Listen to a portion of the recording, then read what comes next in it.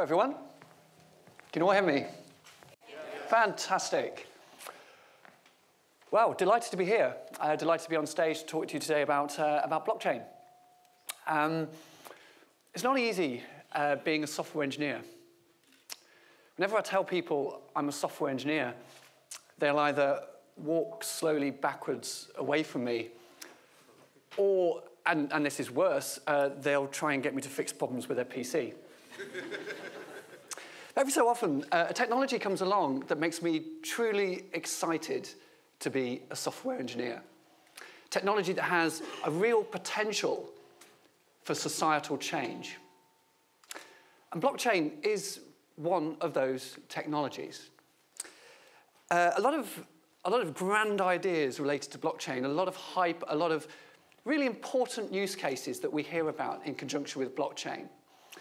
Here are just a few of them that we see. So, misappropriation of aid is a huge problem in the world. It's preventing uh, many, many economies from growing and also causing a lot of people to die. Now, according to a 2009 UN report, 23% of, Af Af of Afghanistan's GDP is spent on bribery and corruption. And in Sierra Leone, a, uh, the Gavi organization, who are a distributor of uh, vaccines, actually founded by the Bill and Melinda Gates Foundation, had to recall $530,000 of pledged aid because, it, again, it was being misappropriated. Now, imagine if there was a way of, for individuals and governments to donate money in such a way that you could guarantee that that money is going to be used correctly. That would be huge. Second example. Now, um, those of you who've been watching the news, you'll have seen the devastation caused recently by Hurricane Matthew. And it's true to say that there's just an increase in the number of extreme weather events um, globally. Now, part of the problem with these extreme weather events is the fact that no one insurer is able to adequately cover the risk associated with these events.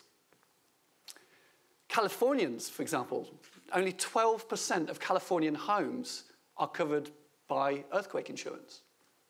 And in Florida, the state has had to step in as insurer of last resort. Now, you may have heard of these things, they're called catastrophe bonds, which is an, it's a way of trying to pull together lots of different insurers to spread the risk. Now, the problem is you've got all these different systems, all these different insurers. Getting the money to where it's needed is a big problem. It's a very slow manual process. Now, imagine again if there was a way of completely automating that process so that all the way from claim all the way through to the distribution of money so that you could settle claims in hours rather than weeks. Final one the uh, dispute resolution is the cornerstone of the legal profession. Um, how do you settle disputes over who owns what? Or um, this example that I've shown here is uh, it's actually the court case that followed the year 2000 US presidential election, which you may remember between Bush and Gore. It was so close it had to be settled by a judge. Imagine if there was a way of being able to settle these disputes as in who owns what or what the state of a, a, a vote was, in such a way that it means you, you could do it without requiring a trusted third party.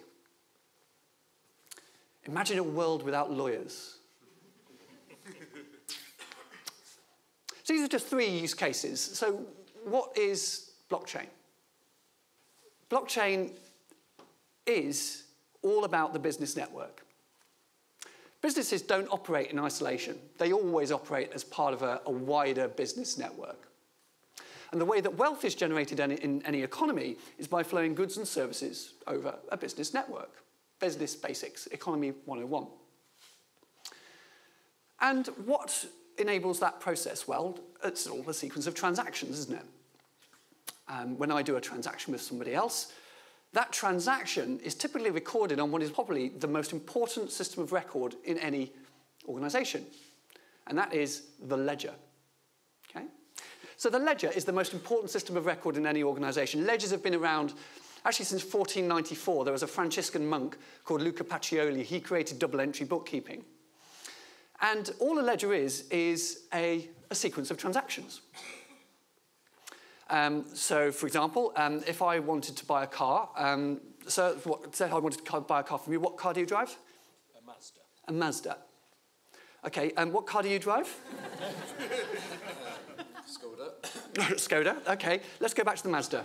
Um, let's say I wanted to buy a car from you, and um, so I would give you money in exchange for the, in exchange for the car, and uh, that would be recorded in my organisation's ledger um, as a credit of one car and as a debit of, of some money. And similarly, it would be recorded in your organisation's uh, ledger similarly. Of course, we may have a contract that's associated uh, with that particular transaction. And that contract could say things like, well, if the car breaks down within six months, as decided by a third party arbitrator, then I get my money back. Now, there are problems with both ledgers and contracts. Now, with ledgers, there are a number of problems with ledgers. I'll just pick on one. Um, the problem being that how do we agree that the transaction that's recorded in my ledger is the same as the transaction that's recorded in your ledger? Reconciliation, how do we reconcile the transactions? That's a huge cost in, in many businesses. And we all know about the problems with contracts. The thing about contracts is that they require armies of lawyers to create, they're ambiguous in their nature, and, and require a lengthy court case in order to describe what the actual meaning of a contract is. So let's go into blockchain. What is blockchain? Now, there are a number of definitions of blockchain depending on who you're talking to. Now, the most popular one that is in common usage today is this. It's just three words, shared replicated ledger. So firstly, it's a ledger. It's a description of the inputs and outputs of a, of a business.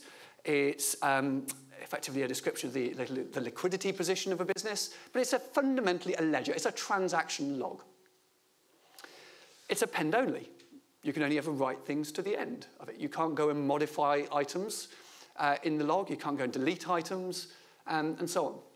However, and there's the thing, it's shared. So all the participants of the business network see the same ledger. So there's immediately no reconciliation. However, it's not a single point of failure. And this is why we say it's replicated. So even though there's only one ledger, every participant in the network sees, has their own logical copy of it, and it's, and it's kept in sync. So that's what blockchain is all about. And if anyone asks you what blockchain is, those three words will probably get you by.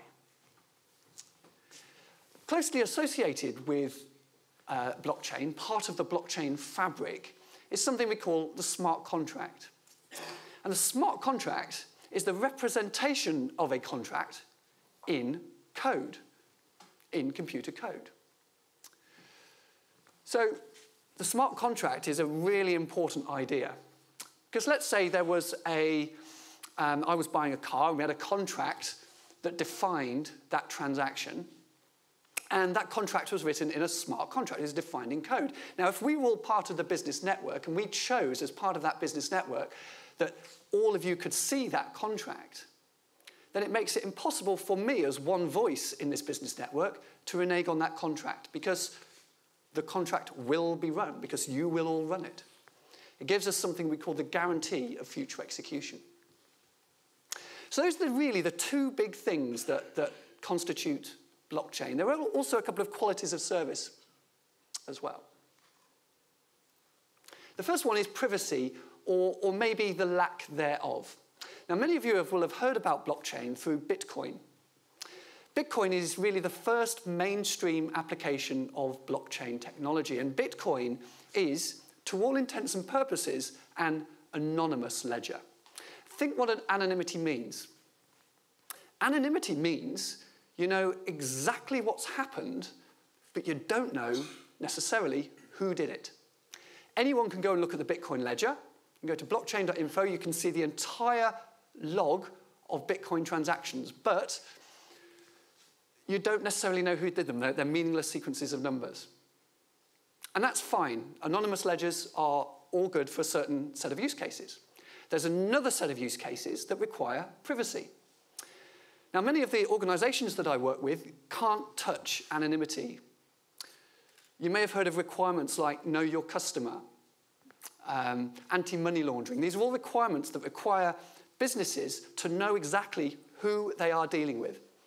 And so, for those organizations, an anonymous ledger doesn't really cut it. They need privacy. And you think about what privacy is, it's the total opposite of anonymity. With privacy, you know exactly who you're dealing with, but not necessarily the transactions that have happened. And so, there are two classes of blockchain we can consider here. The other quality of service that we often talk about with blockchain is consensus, and it's closely related to privacy. So, how do we agree on the state of the ledger? How do we know that the transactions that have been recorded to the ledger are good? Now, on, an, on um, an anonymous network like Bitcoin, you don't know who you're dealing with, and so you need something that's quite heavyweight in order to guarantee that the, the network isn't trying to be manipulated in some way. So if you ever hear about something called proof of work, cryptographic mining, this is what it is. It's, a it's what Bitcoin uses to inject an artificial cost into the system to disincentivize people from trying to defraud it, from th doing things like spending twice or putting fraudulent transactions. Um, so what proof of work is, it's, it's adding the cost of electricity. It's forcing you, as a validator of the Bitcoin network, to burn electricity in order to have a say of what's going on, what's on the ledger. And that removes any incentive. It's like me saying, um, well, I'll take any questions from the audience, but so I don't get swamped with, with bad questions, what I'm going to first say is uh, if you want to ask a question, I'm going to give you a Rubik's Cube, and you have to solve that Rubik's Cube before you can ask your, uh, ask your question. Yeah? It's a bit like what proof of work is. Now, again, that's okay for a certain class of use case. Think about the privacy, the, the use cases that require privacy. Actually, you don't need something quite so heavyweight as, um, as proof of work. Um, the Bitcoin network reputedly takes more power than the country of Ireland in order to run. Right? It's a huge, huge cost. On private networks, you already know who you're dealing with, and you'll suffer reputational damage or some other kind of monetary damage if, if you start adding in bad transactions. You know, if you had a, a, blockchain that covered banks talking to other banks, you don't need something like proof of work. And so you can get away with much lighter weight forms of consensus. So what's happening now in the, in the blockchain community is we're trying to take those four main features there and standardize them. I'm sure many of you are familiar with HTTP. Right? HTTP is the cornerstone of the internet. It allows information to flow from any one entity to any other entity. It's completely revolutionized how we work. Now imagine if there was a similar standard for the flow of assets, whether uh, tangible assets like you know, houses or cars or whatever, um, intangible assets um, like uh, financial instruments such as uh, bonds or the right to listen to a piece of music that you've downloaded, or indeed cash. So if there was a standard that allowed you to, uh, to flow assets completely frictionlessly, that would, that would be huge, and, and it would revolutionize how business happens. Um, I'll give you an example. Um, conveyancing, those of you who have bought houses, think about what the conveyancing process actually is. In the conveyancing process, um, if I want to say wanted to buy a house, let's say I was buying a house from you, um, then I would go to a solicitor and I would give the money to a solicitor and you would go to uh, the same or a different solicitor and you would give the deed to the house. And then on an agreed date and time, uh, the solicitor, as a trusted third party, would exchange the deeds and the money. So I get the deeds, you get the money. What value is the solicitor adding in this use case? Well, they're a trusted third party. Now, if there was a way of bringing together the buyer of an asset and the seller of an asset, we don't need a trusted third party. If we could, if we could guarantee, if we both had visibility to a data structure somewhere that said who owned the asset at a given date and time, we no longer need a trusted third party. Imagine a world without lawyers. Or think slightly, slightly wider. You know, if, if there was a way of bringing together the central bank in a country with consumers, what is the need, what is the purpose of retail banking? Because what blockchain aims to do is it aims to completely bring together business networks, whether they're supply chains, banks talking to other banks, whatever it happens to be, that's the aim of blockchain. So, how close are we? Well, it's very, very early days. What you can see here is the Gartner hype cycle. This is what Gartner, the uh, analysts, produce uh, every so often. And if you look at the very top there, blockchain is currently heading towards the top of the peak of inflated expectations. Forrester, another analyst, they predict that mainstream adoption of blockchain for end to end business processes is not going to be for another five to 10 years. So we are very much in its infancy. The technology is still being developed, still being written, still being standardized. However, there's a lot of goodwill. There's a lot of people at the moment, a lot of businesses looking at blockchain, looking at the potential, and they're looking at the potential because they can see what it can do. They can see the fact that this will revolutionize business networks and how business happens. So, will it come to anything? I don't know. Um, I, think, I think it has a huge amount of potential. Um, the reason why I think it's got a huge amount of potential, it actually goes back to um, something that happened a couple of years ago. Uh, my daughter, she was two at the time, and she asked me what I did for a living. And uh, I think for a bit. Was, at the time, I was working uh, in an area of, of computing called systems integration. And I tried to think about a way that I could explain to her in terms that she would understand what I did. So I thought about it for a bit and I said, well, I knew she knew what computers were because that was the medium through which Peppa Pig was delivered to her. So I said, it's kind of like it, it makes computers talk to other computers. And that kind of satisfied her, and she went off and did whatever she did. But it did get me thinking. Think about all the technologies that have stood the test of time. Database, stores information. Messaging systems, right? Move information. All these simple ideas stand the test of time, and they can all be explained to a two year old. Because if you can't explain a technology to a two year old, what hope do you have of trying to explain it to a business executive? and I think blockchain is one of those, one of those technologies um, because it's a really simple idea. This idea of it's a log of transactions, it's a log of what you've done. This shared, replicated ledger. Very, very simple idea but an idea that I think has a huge amount of potential. Thank you very much.